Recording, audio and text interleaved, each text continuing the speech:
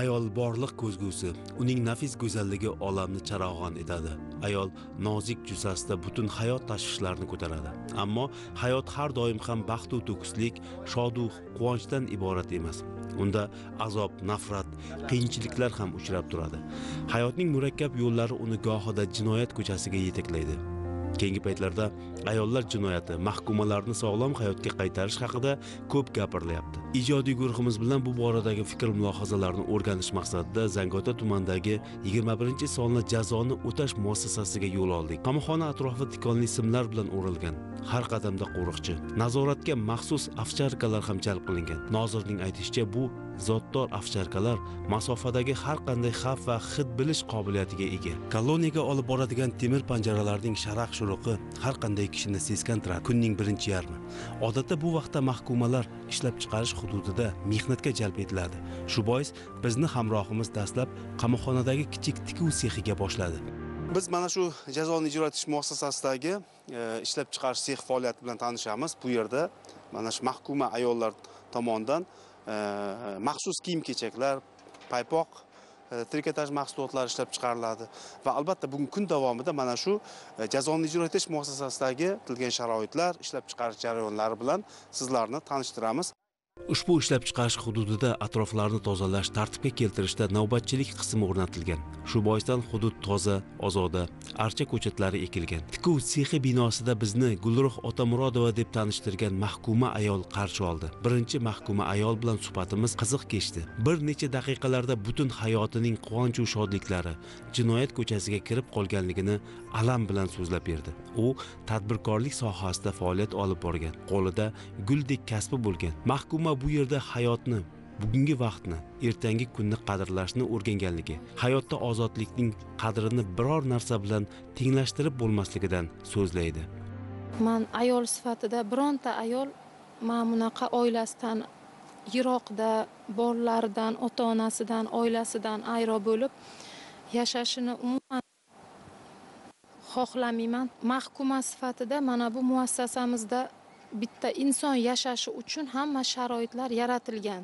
Lekin bu degani bu muassasada yashash har bitta ayolga ma'qul bo'ldi degani emas. Qamalib birinchi muassasaga kirib kelganimda judayam qo'rquvda qo'rquv bilan kirib kelganman. Albatta endi man aslida hayotda tadbirkorlik faoliyati bilan shug'ullanganman. Juda katta yutuqlarga erishganman tadbirkor ayol sifatida.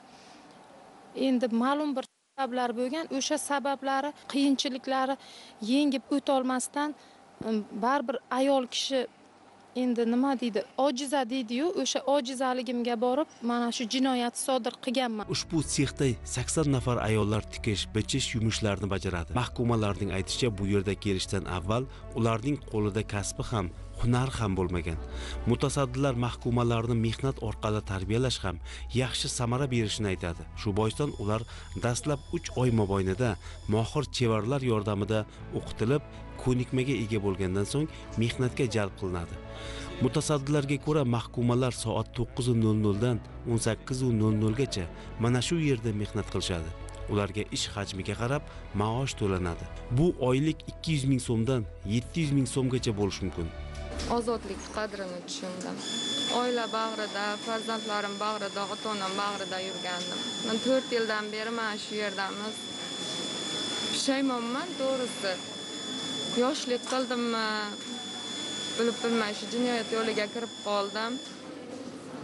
Bundan ko'proq ota onam farzandlarim azob chekishyapti. Hozirgachada mana uzoqda ayriliqda. Umuman tikuvchilik qilmaganman. Bu narsani mana shu yerga kelib shu hunarni o'rgandim. Hozirda mana ko'pchilik opa singillarimiz ham shu hunarni o'rganib masalan oyligini olib farzandlariga jo'natib uyiga o'zidan orttirib shu yerda kasb hunarli bo'lib aytadiyu bitta yomonni bitta yaxshisi bor deb shu yerga kelib hunar o'rgandik mana. Baribir inson ozodlikni sog'inadi baribir ozod yashaganda erking o'z qo'lingda bo'ladi. Masalan mana shu ishlarni ham ko'chada qilib halol mehnat qilib pul topsak bo'larkan emas shu endi bilmadim shayton yo'liga kirdikmi boshqa oson yo'l bilan pul topishga o'rganib shu jinoyatni qildik lekin hozir to'g'risi tarbiyalandik o'zimizga o'zimiz xulosa chiqarib oldik mana shu yerda Bu yerda yana ikkita sex faoliyati yo'lga qo'yilgan. Mazkur sexlarda jami 350 nafar mahkuma ayollar mehnat qilishadi. Birgina paypoq ishlab chiqarish sexida mahkumalar bir kunda 1,5 ming dona paypoq ishlab chiqaradi. Ular ozodlikka chiqqach tikuvchilik korxonalarida ishlashlari yoki oilaviy tikuv sexini ochishlari ham mumkin. Boisi bu yerda ular tikuvchilik kasbining sir asrorlarini puxta o'rganib olgan. Ushbu sex yonida 250 o'rinli yangi sex qurilmoqda. Hozirda binoning fasad qismlarini bo'yash, yorug' va shinam xonalarni pardozlash ishlari yakuniga yetkazilmoqda. Tez kunlarda ushbu zamonaviy tikuv sexi ishga tushiriladi. Mahkumalarning boshiga tushgan baxtsizlikdan bir kuyib qilgan jinoyatini eshitib esa qahringiz keladi. Muassasa mutasaddilari mahkumalarni psixologlar yordamida tarbiyalaydi. Har haftaning payshanba kuni ma'rifiy, huquqiy mavzuda targ'ibot tadbirlari o'tkaziladi. Ijodkorlar, olimlar va san'atkorlar kelishadi. Tasvirga olish jarayonimizda ana shunday tadbirlardan biriga duch keldik. Muassasa Madaniyat saroyida 8-mart Xalqaro xotin-qizlar bayrami tadbiriga Oliy Majlis inson huquqlari vakillari, san'atkorlar, so'z ustalari taklif qilingan. Mahkumalarning oila a'zolari ham ishtirok etib, ko'ngillari shod bo'ldi. Kızım için geldim. Qayerdan keldingiz? Zangata tumanidan keldim. Hozir shu yerda turibman. Shu qiz yaqin bo'lib tursin deb. Navaramni olib keldim o'g'lini. Shu yerda muassasasiga shu qizim shu yerda. Rahmat shu yerda nimalarga, xo'jayinlarga, lohim tanjonlari sog' bo'lsin. Bunday tadbirlarni har bir mahkuma intiqib kutishadi. Ushbu tadbirlarda kitobxonlik, mushoira kechalari tashkil etiladi. Muloqotlarda ularning fikri, hayotga qarashi, pushaymonligi o'rganilib, hayot saboqlaridan to'g'ri xulosa qilganlar alohida ro'yxatga olinadi. Bundan tashqari muassasada 16 yoshdan 30 yoshgacha bo'lgan mahkumalar maxsus dastur asosida ta'limga jalb qilingan. Mashg'ulotlarni tumandagi 35-sonli umumta'lim maktabining 10 dan ortiq tajribali o'qituvchilari olib boradi. Ochiq maktabdagi davlat ta'lim standarti bo'yicha qanday qilib bilim berilsa o'quvchilarga bu yerda ham mahkumalarga ana shu tartibda dars o'tib kelinmoqda. Davlat ta'lim standartidagi barcha fanlar o'qitiladi faqat bundan mustasno bo'lganlari jismoniy tarbiya darsimiz chizmachilik darsimiz musiqa darsimiz va harbiy tayyorgarlikkacha qadar darslarimizdan tashqari boshqa barcha fanlar o'qitib kelinmoqda. Biz bu yerdagi mahkumalarni e, jinoyatchi sifatida emas o'quvchi sifatida qarab ularga imkon qadar bilim olishlari xat savod chiqarishlari uchun o'qitib kelmoqdamiz. Bundan tashqari o'quvchilarimizda misol uchun e, o'zlarini ijodiy misol uchun ishlari uchun va mana shu olayotgan bilim ko'nikmalarini yanada yaxshilash maqsadida va ayniqsa mana bu yil chiqdi. Demak e, yaqinda aprel oylaridan kuchga kiriladi deyilyapti onlayn tarzda ular oliy ta'lim muassasalariga agar mahkuma ikkinchi uchinchi kursda masalan qamalib qolgan bo'lsa ular hatto o'qishni davom ettirish huquqi berilyapti mana shu prezidentimizni odilona siyosatlarini biza juda to'g'ri qabul qilib hozir to'garak mashg'ulotlarimizda mana bu yil 11 sinfni yoki 10 sinfda o'qiyotgan o'quvchilarimizni ana shu oliygohlarga kirishi uchun qo'limizdan kelgancha to'garak mashg'ulotlarda tayyorlab boryapmiz Siz tasvirda ko'rib turgan ushbu xonalarda mahkumalarning farzandlari tarbiyalanadi. Mutasaddilarning ta'kidlashicha, ota-ona jazo muddatini o'tayotgan farzandini istagan vaqtda ko'ra olmas edi.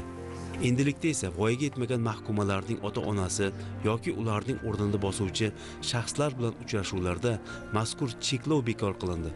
Shu boisdan mahkumalar o'z farzandlarini bo'sh vaqtlarida istalganicha ko'rish imkoniga ega bo'lgan. Chaqaloqlar xonasi, bolalar bog'chasi alohida, homilador va farzandli ayollarga vitaminlarga boy bo'lgan oziq-ovqatlar beriladi. Bolalar uyida pediatr, psixolog, tarbiyachilar xizmat ko'rsatadi. hozirda onalar bolalar bilan birga tarbiyalanyapti. Qolaversa ishchi mahkumalarimiz bor ishlaydigan mahkumalarimiz bor. Ularni bolalari mana shu yerda tarbiyalanadi kunlik mashg'ulotlar o'tkaziladi. Bunda bolalarni sog'lig'iga e'tibor beriladi o'sishiga ovqatlanishiga va jumladan ehm, bolalarni kunlik rivojlanishiga kayfiyatiga onalari bilan yaqinlashishiga yordam beramiz. Tibbiy ko'riklardan o'tiladi. Qanaqadir holat sezilsa darrov borib tekshiruvlardan o'tib anaqa bo'ladi. Tekshiriladi hammasi vrachlarimiz pediatrimiz bor qarashadi hammaligi bolalar uydan chiqib ayollar yotoqxonasini tasvirga oldik. U yerga kirganimizda mahkumalar tushlikka chiqish uchun tayyorgarlik ko'rishayotgan ekan. Shu yerning o'zida bir necha ayollarni suhbatga tortdik. Deyarli hammasining nolishi bir xil biror joyda ish topolmaganligi yoki yetishmovchiliklaridan egri yo'lga kirib ketganligini aytadi. Hali o'ttizdan oshmagan ayollar qing'irlikning jin ko'chalariga bosh suqib chiqqani guldek umri panjara ortida o'tayotganligidan achinasiz. Hammasi to'lib ketgan meni kechirsin deb ozodlikka chiqishga umid qiladi. Dardlashgisi keladi. Sizda ham qanday mana shu davr ichida qanday xulosalar chiqardingiz qanday saboqlar chiqardingiz qanday e, to'g'ri yo'lga o'tganligingiz to'g'risida? O'zingizni umuman mana shu joydagi sharoitlar haqida bir fikrlaringizni bilmoqchi edim. Ikki ming o'n sakkizinchi o'ninchi mayda mana shu ayollar kolonnasiga kelganman. Bu yerdagi har xil mahkuma ayollarni ko'rdim. Birini ko'rib fikr qildim birini ko'rib shukur qildim.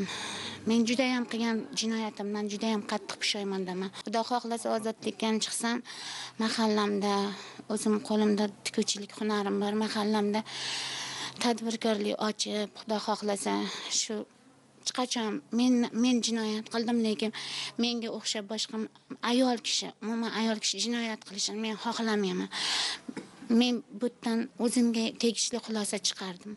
Men bu yerda jazo muddatimni o'tash davrida juda yam qattiq pushaymonligimni bitib she'r yozdim. Qafasda saqlanib bir qush misoli. Uchib ketolmasam uchmasam netay. Har kun xudojon sendan so'rayman men tezroq farzandim bag'riga yetay. Ayolning qirq joni bor degandilar. Qirq joni qolmabdi ayol zotining. Senchalak jonida qolgan ayollar hatto eslolmaydi o'zin uyining.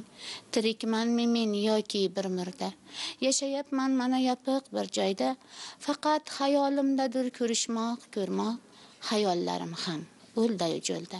Qamoqxonada necha yillab ozodlikka chiqishni intiqib kutayotganlar bor. Panjaradan tashqariga mungli termiladi tezroq yorug'likka chiqsamu qorong'u kunlarni unutsam deydi. Bu yerda vaqt shunday imillab o'tadiki bir soat xuddi bir asrdek.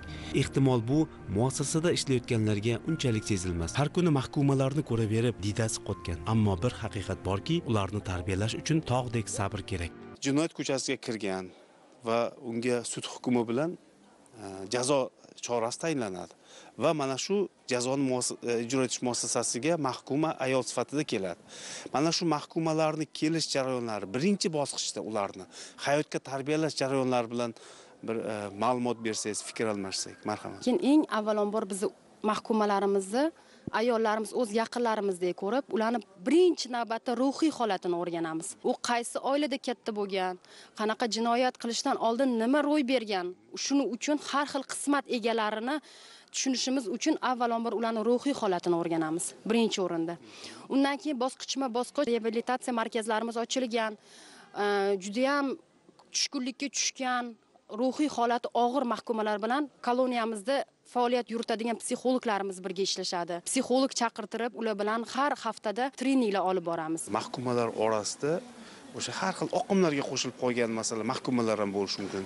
Bularni qanday tarbiyalaysizlar imom xatiblar otinoylar birgalikda ishlaydi. Ular ayollarni qalbini tushunish maqsadida erkaklarga aytolmagan dardini aytish maqsadida ularga albatta otinoylari har oyda jalb qilgan maqsadda ular bilan gaplashib suhbatlashib ularni to'g'ri yo'lga adashib kirib qolgan oqimidan chiqarishga harakat qilamiz. Ular bilan birgalikda hamkorlikda ish olib boramiz. Muassasa hududida birinchi ko'zingiz tushadigan joy bu simyog'ochda in qurgan laylaklardir. Bu laylaklar uzoq yillardan beri shu yerni makon qilishgan. Koloniya xodimlarining aytishicha umumiy aflar e'lon qilingan yoki jazo muddatini tugagan mahkumalar ozodlikka chiqilayotgan kuni laylaklar ham 3-4 kunga oshyonini tark etadi. Xulosa o'rnida ta'kidlash joizki kishi har bir qilayotgan ishining oqibatini o'ylab ko'rsin. Qisqa muddatli aldamchi orzu havas shaytoniy o'y xayollar ularni aldab qo'ymasin. Reportaj avvalida so'zimizni ayollarni ulug'lashdan boshladik. Tilagimiz mana shu ulug' nom mahkuma degan tamg'a bilan hech qachon bog'lanmasin. Ko'rsatuvimizdagi yurtdoshlarimizning ayanchli qismati boshqalar uchun ham saboq bo'lsin.